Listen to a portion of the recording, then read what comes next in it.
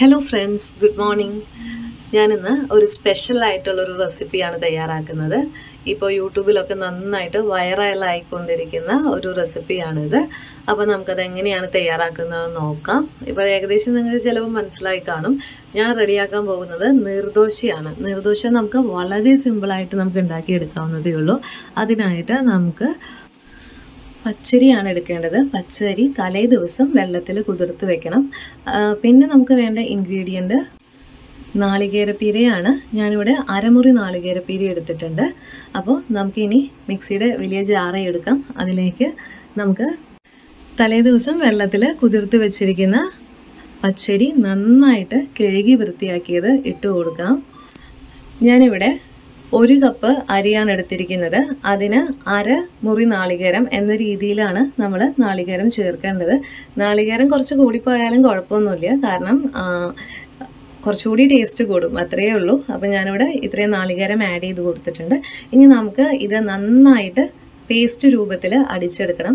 ഞാൻ ആ നാളികേരമുള്ള പാത്രത്തിൽ കുറച്ച് വെള്ളം ഒഴിച്ചിട്ട് ചുറ്റിച്ചിട്ട് അതും കൂടി ഒന്ന് ഒഴിച്ചു കൊടുക്കുകയാണ്. അതിനുശേഷം ഇതിന് ആവശ്യമായ വെള്ളം ഒഴിച്ച് നമുക്ക് ഇത് നന്നായിട്ട് പേസ്റ്റ് രൂപത്തിൽ അടിച്ചെടുക്കണം. ഒട്ടും കട്ടിയൊന്നുമില്ലാതെ തരി തരിയൊന്നുമില്ലാതെ തന്നെ നമുക്ക് നന്നായിട്ട് ഇതേ രൂപത്തിൽ അടിച്ചെടുക്കാം. ഞാനിപ്പോൾ ഒന്ന് കാണിച്ചു തരാം. സ്പൂൺ വെച്ചിട്ട് കണ്ടോ? നല്ല സോഫ്റ്റായിട്ട് നല്ല പേസ്റ്റ് രൂപത്തിൽ അടിഞ്ഞു വന്നിട്ടുണ്ട്. എന്നിട്ട് നമുക്ക് ഇതൊരു പാത്രത്തിലേക്ക് മാറ്റണം. വളരെ ടേസ്റ്റി ആയിട്ടുള്ളൊരു ബ്രേക്ക്ഫാസ്റ്റ് ഐറ്റമാണ് നല്ല ടേസ്റ്റാണ് എല്ലാവരും ഇതൊന്ന് ട്രൈ ചെയ്ത് നോക്കണം കേട്ടോ. കാരണം എന്ന് വെച്ചിട്ടുണ്ടെങ്കിൽ നല്ല സോഫ്റ്റ് ആൻഡ് ക്രിസ്പി ആയിട്ട് നമുക്കിത് ഉണ്ടാക്കിയെടുക്കാൻ പറ്റും. ഇതിലേക്ക് ആവശ്യത്തിന് നമ്മൾ ഉപ്പും കൂടി ആഡ് ചെയ്ത് കൊടുക്കുന്നുണ്ട്. ശരിക്കും പറഞ്ഞാൽ നമുക്കൊരു രണ്ട് ഇൻഗ്രീഡിയന്റ് അതായത് നാളികേരപ്പീരയും അതുപോലെ പച്ചരിയും മാത്രം മതി നമുക്കിത് ഉണ്ടാക്കിയെടുക്കാനായിട്ട്. വെറും പത്ത് മിനിറ്റിന്റെ ആവശ്യം പോലും ഇല്ല നമുക്ക് പെട്ടെന്ന് തന്നെ റെഡിയാക്കി എടുക്കാൻ പറ്റും. തലേ ദിവസം നമുക്ക് പച്ചരി വെള്ളത്തിൽ കുതിർത്ത് വെക്കുകയാണെങ്കിൽ ഞാനിതിലേക്ക് ആവശ്യത്തിന് വെള്ളം ഒഴിച്ചു കൊടുക്കാം നമ്മൾ അതായത് നല്ല ലൂസാക്കി എടുക്കണം. നമുക്ക് പാത്രത്തിൽ വീഴുമ്പോൾ ജസ്റ്റ് നമ്മൾ പച്ചവെള്ളം എടുത്ത് ഒഴിക്കില്ലേ? അതേ രീതിയിൽ അത്രയ്ക്ക് ലൂസാക്കി എടുക്കണം.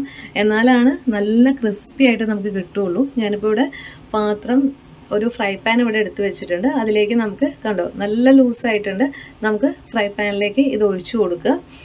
കണ്ടോ? ഇതിപ്പോൾ ഇത്തിരി ഞാൻ ആദ്യം ചെയ്തപ്പോൾ ഇത്തിരി കട്ടിയായിട്ടാണ് വന്നിരുന്നത്. നമ്മൾ വീണ്ടും ഞാൻ വെള്ളം ആഡ് ചെയ്ത് കുറച്ചുകൂടി ലൂസാക്കിയിട്ടുണ്ടായിരുന്നു അപ്പോൾ നല്ല ലൂസാക്കി എടുക്കണം. എന്നിട്ട് ജസ്റ്റ് ഒന്ന് ചുറ്റിച്ചു കൊടുത്താൽ മതി.